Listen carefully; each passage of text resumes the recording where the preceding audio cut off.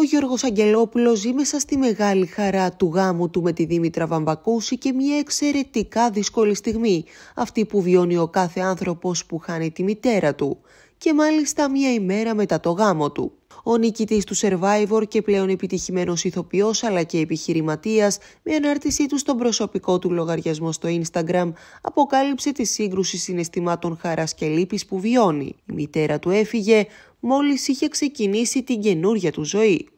Όπως έγραψε χαρακτηριστικά ο Γιώργος Αγγελόπουλος. «Μάνα μου, όπως τόσα χρόνια έτσι και φέτος πάλεψες κυριολεκτικά με το θάνατο άλλους εννιά μήνες. Μόνο εσύ ξέρεις πως έφτασες ως εδώ.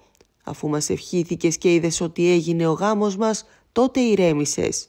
Σήμερα μου είπανε πως έφυγες. Δεν έφυγες γιατί θα σε φέρω πάντα μαζί μου.